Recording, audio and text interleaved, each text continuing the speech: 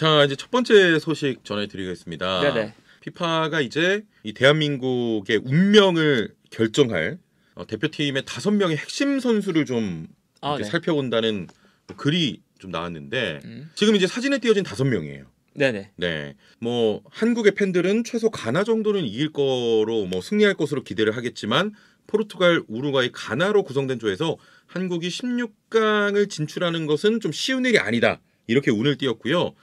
그러면서 한국의 운명을 결정할 다섯 명의 핵심 선수를 이렇게 좀 소개를 네네네. 했습니다. 어, 일단 뭐 한명한 명씩 소개를 그러니까 했죠. 이게 뭐 한국 기자분이 쓴 것 같더라고요. 네네. 보니까 그래서 이제 아, 이 한국 기- 기자가 썼어? 그런 것 같아요. 어. 예. 그러다 보니까 당연히 이제 한국 그러니까 딱 그 읽어보면 음. 한국을 외국 기자가 이렇게 잘 알아?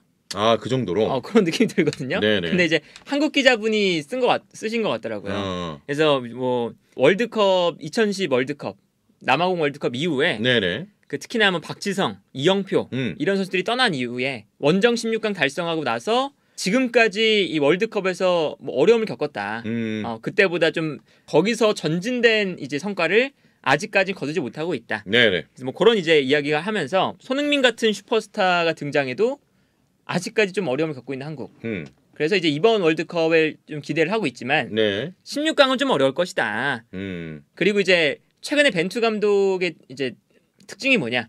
2010년 이후에 지금 한국이 2010년부터 2018년까지 8년 동안 6명의 감독을 바꿨다. 네. 그만큼 혼란의 시기였는데 이제 이번 월드컵을 준비하면서는 벤투 감독 한 명으로 음. 지금까지 끌고 왔다. 네.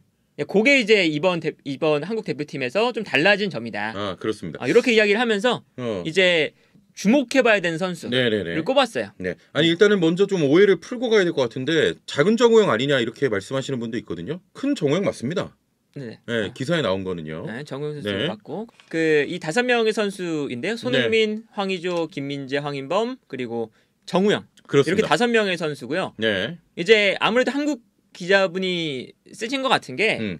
보통 이제 외국 기자의 시선으로 쓴다면 당연히 이강인이 들어가거든요. 네네. 근데 이제 이강인 선수가 없다는 것부터가 이미 이제 이제 한국 기자분의 좀 시선이 아하. 들어간 게 아닌가 네. 일단 싶고 그리고 이제 한 명씩 살펴보면 음.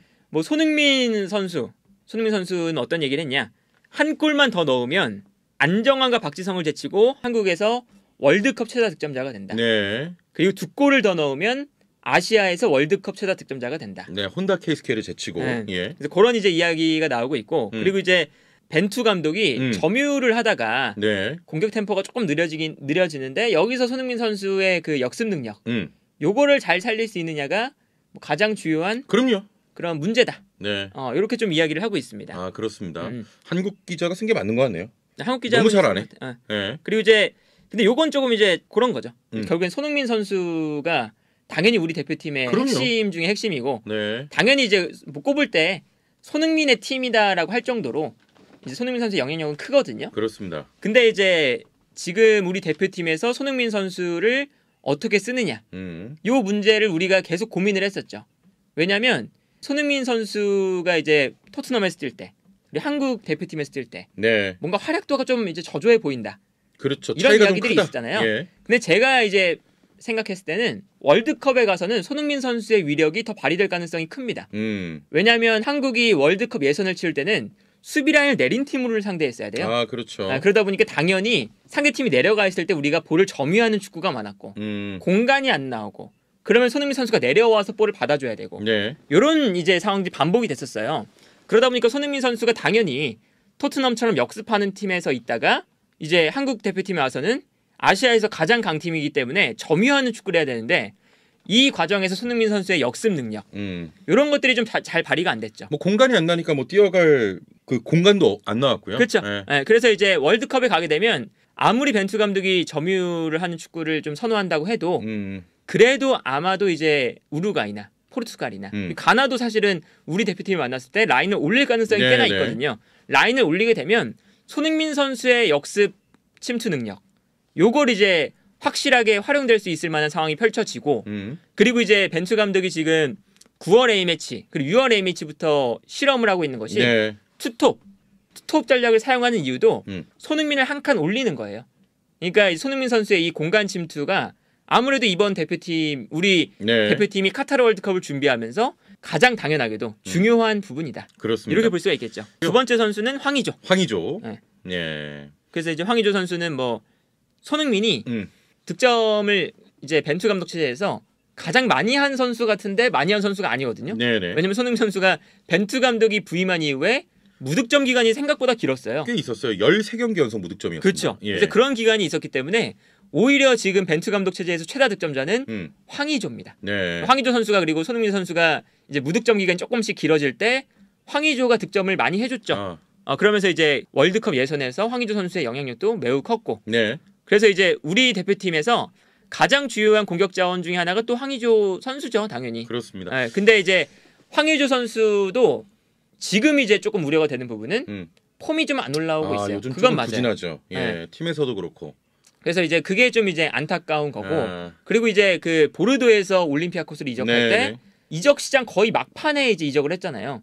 이제 그렇기 때문에 오히려 시즌 시즌을 준비할 만한 그런 시간도 없이 또 바로 시즌을 시작하고 음, 이런 것들이 겹치면서 최근에 폼이 안 좋다는 게 우리 대표팀에게는 걱정입니다. 매우 예, 걱정이다. 그렇습니다. 어, 왜냐하면 그 황의조냐 조규성이냐 음, 이게 이제 경쟁 체제로 지금 가고 있거든요. 사실 네. 그런데 이제 월드컵 본선 무대에서 황의조 선수의 결정력 이런 것들이 우리 대표팀에게 분명히 필요해요. 아, 그럼요. 굉장히 어. 중요하죠. 왜냐하면 결국에는 월드컵 무대에 나가서 음. 우리가 6월 A 매치 브라질전만 봐도 티아고 실바 같은 월클 수비수를 상대로 한 순간에 이겨서 득점을 할 수 있느냐 없느냐 야, 그때 그 6월 어. A 매치 때 골은 진짜 멋있었어요. 여기서 이제 갈리는 네. 거거든요. 네. 근데 황의조 선수는 이미 유럽 무대에서 리그앙에서 10골 이상을 넣어본 선수고 네. 그러, 그리고 이제 우리가 6월 A매치도 봤지만 황의조 선수는 분명히 이 world class 공격 수비수와 붙어도 순간적인 타이밍을 잡아서 그렇죠. 슈팅을 때릴 수 있는 네. 그런 능력을 분명히 갖추, 갖춘 선수예요. 이제 월드컵에서는 당연하게도 이제 저희가 골을 넣을 수 있는 기회가 많지는 않을 거거든요. 그쵸. 그때 이제 번뜩이는 움직임으로 골을 넣어줄 선수.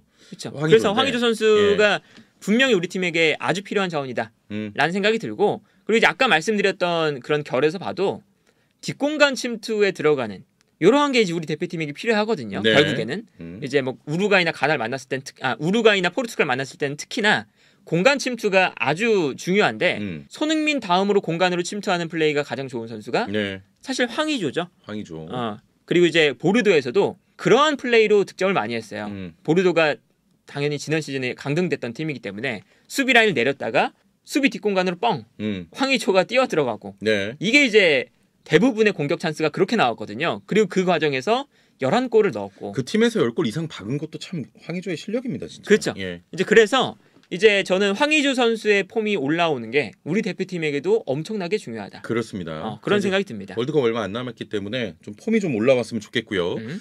자, 어, 손흥민, 황의조에 이어서 세 번째로 소개해드릴 선수는 김민재. 김민재입니다. 네. 네. 김민재 선수를 이제 또 세 번째로 꼽았는데 음, 사실 김민재 선수의 폼이나 음, 이런 것들을 보면 그리고 이제 우리 대표팀에서의 영향력을 보면 네. 제가 개인적으로 생각했을 때는 손흥민만큼의 지금 영향력을.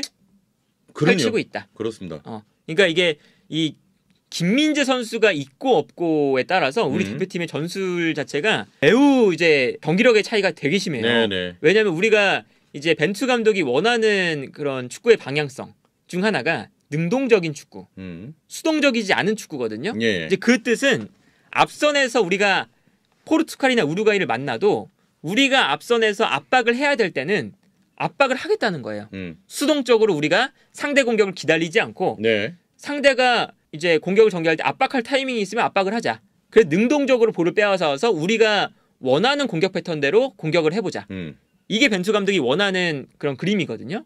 그러다 보니까 라인을 올리는 과정에서 압박하는 과정에서 김민재의 영향력은 아, 정말 어마어마합니다. 그렇습니다. 어, 김민재가 없으면 그 라인을 높이는 것 자체가 우리가 하기가 매우 힘들고 음. 아무래도 오른쪽 왼쪽 좌우 풀백이 올라가다 보니까 네, 네. 당연히 김민재가 커버해야 되는 범위가 라인도 높은데 좌우 측면도 커버하고 심지어는 이제 우리가 수비 라인 앞에 정우영 선수와 황인범이 있지만 황인범은 올라가는 형태예요 사실 음. 그렇기 때문에 정우영도 도와줘야 되고 여러 가지 측면 생각해 보면 이 김민재의 영향력은 그렇죠. 어마무시하다 김민재 없으면 월드컵 거의 뭐 그렇죠 어, 네. 김민재 선수의 영향력이 매우 크죠 그래서 그렇습니다. 이제 뭐 손흥민 선수가 인터뷰 얘기했던 것도 음. 뒤에 김민재가 있으니까 우리가 편안하게 올라갈 수가 있다. 음. 전방 압박을 할 수가 있다. 이런 이제 이야기들 하잖아요. 네. 이제 그 이유가 저, 저 김민재 선수의 그 뒷공간을 커버하는 능력 자체가 지금 뭐 세리에서도 통하니까 음. 어, 우리가 편안하게 라인을 높일 수 있는 이유는 모두 다 김민재 때문이다. 네, 네. 자, 그러면서 뭐 이제 홍명보 어, 전 선수와 좀 비교를 하기도 했었고요. 네. 이 기사에서도 현재 뭐 나폴리에서 든든한 버팀목으로 좀 자리 잡았다고 소개를 하고 있습니다. 음. 김민재는 뭐 당연히 이 손흥민, 황의조, 김민재는 많이 공감을 하실 거고 네 번째 선수는 이제 황인범입니다. 네, 황인범 선수를 이제 네 번째로 꼽았는데 음, 뭐 황인범 선수도 당연히 우리 대표팀에서 지금 없어서는 안 되는 선수죠. 네, 네.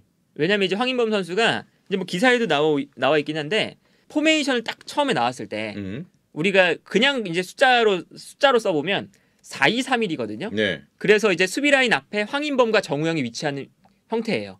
그러니까 기본적으로 황인범 선수가 수비 라인 앞에서 이제 수비 라인을 보호하는 음, 수비형 미드필더의 위치에 섭니다. 네, 그러면서 후방 빌드업 할 때 정우영 선수를 도와서 후방 build-up을 주도를 하죠. 근데 공격할 때는 한 칸 올라가서 그렇죠. 볼을 끌고 올라가서 중원에서 앞으로 볼을 전개해 주는 네, 그러한 역할도 수행해요. 그러니까 한 칸 올라가서 이제 소위 말하는 8번의 역할. 음, 또 수, 이제 수행을 합니다. 네, 근데 여기에 더해서 조금 더 우리가 이제 final third 공격 지역까지 공격이 올라갔을 때는 음, 아예 공격형 미드필더처럼 올라가서 전방에 있는 손흥민이나 황희찬, 뭐 황의조 이런 공격수들에게 결정적인 패스까지 넣어줘요. 네, 네, 그러니까 황희범 선수가 중원 라인에서 우리가 이제 후방 빌드업을 하고 앞선으로 볼을 전개하고 음, 마지막 결정적인 찬스를 만들어 주는 데까지 관여를 합니다. 네, 그러니까 우리의 이제 공격 경기 운영에서 빼놓을 수가 당연히 없는 선수인 거죠. 어, 뭐 일단은 뭐 다재다능한 미드필더라고 또 소개를 하고 있고요. 어 그리고 이제 뭐 벤투의 가장 큰 믿음을 또 받고 있는 선수 아니겠습니까? 그렇죠. 예. 그래서 사실은 이 황인범 선수의 이제 뭐 우리 대표팀의 평가전이나 음. 경기들을 이제 기록으로 딱 보면 황인범 선수만큼 전진 패스를 많이 해주는 선수가 현재 우리 대표팀에서 없죠. 네. 어. 그러니까 황인범 선수가 중원 중원 싸움도 가담하고 후방 빌드업도 가담하고 앞으로 올라가기도 하는데 여기서 중원에서 전방으로 특히나 이제 그 상대의 아주 좁은 수비 라인 사이로 음.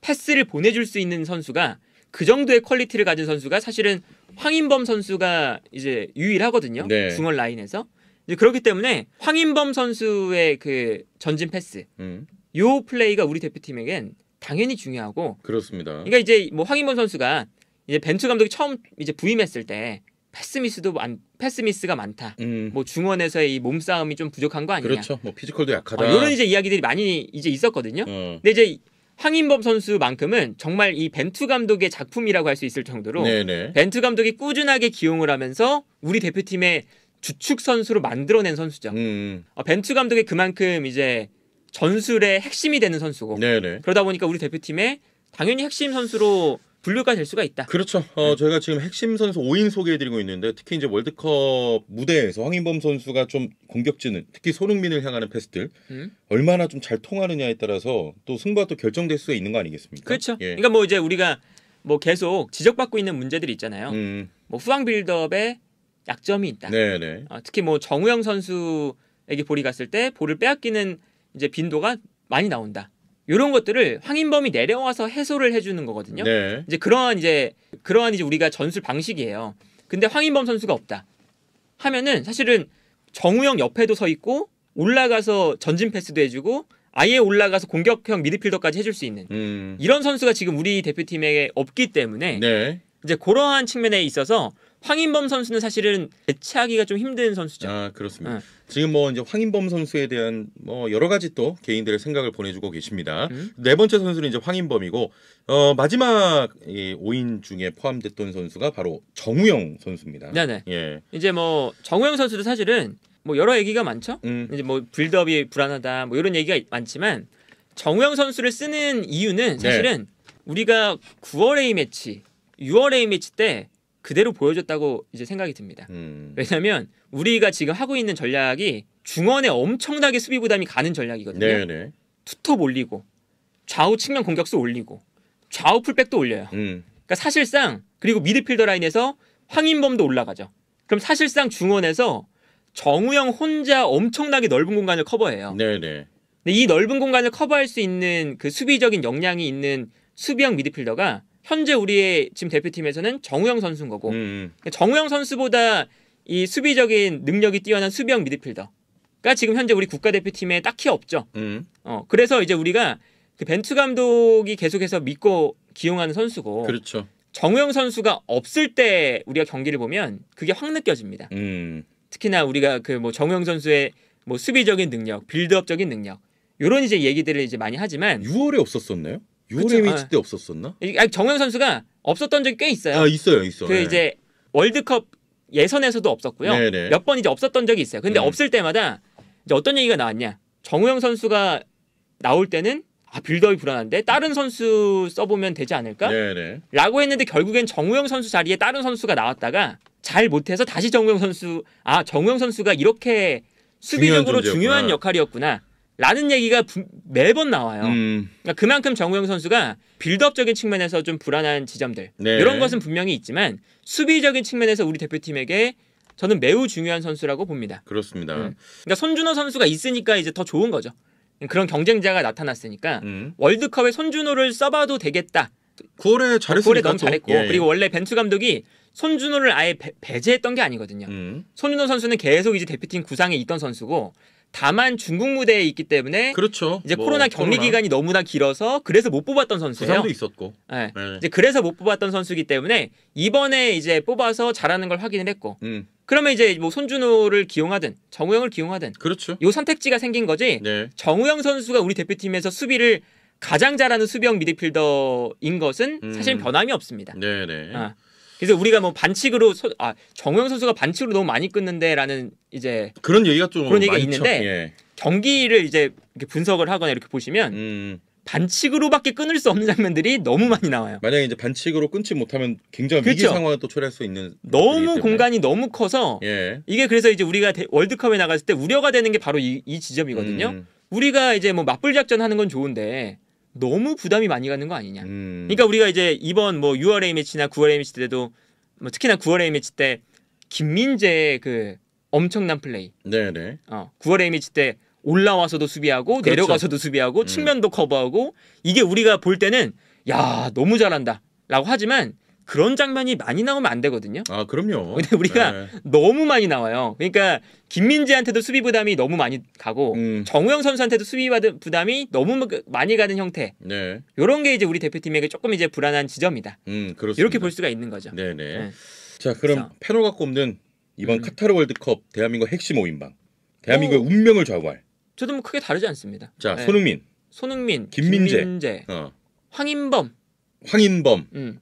여기에 대해서 황희찬, 황희찬도 포함되겠네. 황희찬. 예, 왜냐면 황희찬 선수는 이제 오른쪽에서 뛰는 게 아니라 이제 우리 대표팀이 4-4-2 전용 쓰면 왼쪽에서 뛰거든요. 네네. 근데 왼쪽에서 뛸 때 폼이 매우 좋아요. 음. 그러니까 여기 이 자리에서 황희찬에게 가장 잘하는 역할을 줬을 때 네네. 이때 이제 황희찬 선수가 얼마나 해주느냐 그래도 좀 이게 뭐 월드컵 때 매우 중요합니다. 올 A매치 때 보면 폼도 나쁘지 않았거든요. 좀 음. 저돌적이고. 음. 예. 그러니까 그리고 이제 그 황희찬 선수가 좋은 점이 뭐냐면 음. 우리가 리버풀 하고 이제 황희찬 선수가 찰스부르크 때 만났을 때 네. 황희찬이 반다이크를 아, 그 이제. 무너뜨리는 네. 그런 거 이제 보시면 그 황희찬의 저돌성이 저돌성이 만들어내는 예측하지 못하는 플레이들이 있어요. 음. 어, 돌발 그런 변수들을 많이 만들어내는 선수예요.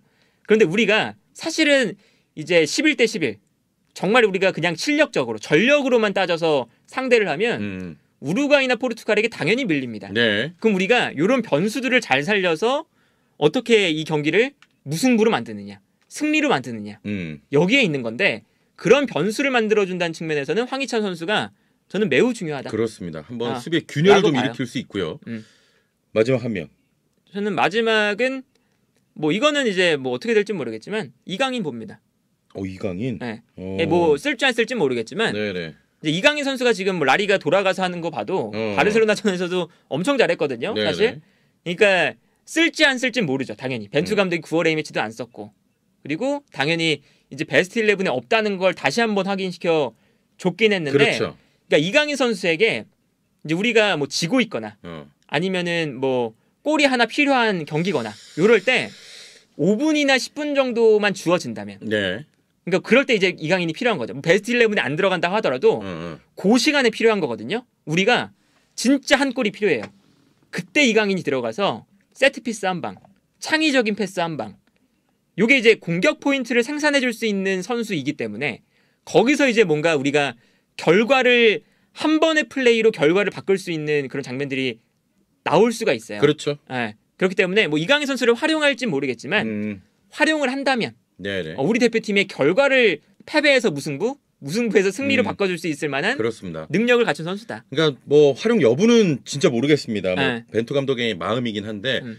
그래도 나왔을 때 뭔가 뭔가 만들어줄 수 있는 선수, 그러니까 핵심 다섯 명 중에 한 명은 또 이강인이 속한다. 음. 어, 이제 페노의 의견이었습니다. 그러니까 전체적으로 제가 계속 이제 말씀을 드리는 게 좀 공통된 결이 있는데 음, 손흥민, 음, 황희찬 그리고 이제 아까 김민재. 황희조 어, 여기 이제 뭐 이강인까지 어. 이렇게 이제 관통하는 게 뭐냐면 네네.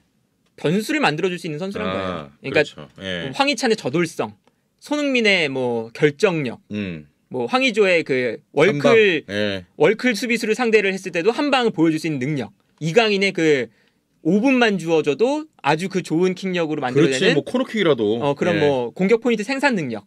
이런 것들이 우리가 왜 중요하냐면 우리가 월드컵에서는 강팀이 아니거든요. 네네. 예, 그렇기 때문에 우리가 이렇게 한 방을 가지고 있는 선수의 능력이 우리에겐 절대적으로 필요한 거죠. 음, 그렇습니다. 네. 예, 그런 자. 게 이제 좀 필요해 보인다. 좋습니다. 어, 그러니까 뭐 우리가 쉽게 생각하면 그런 거죠. 음.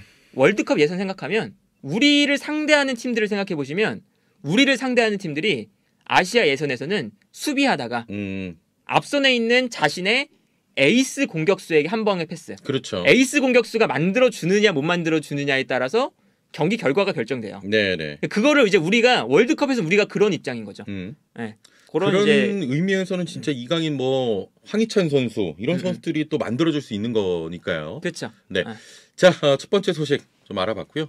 어, 이어서 또 페노의 또 핵심 5인방까지 살펴봤습니다. 음.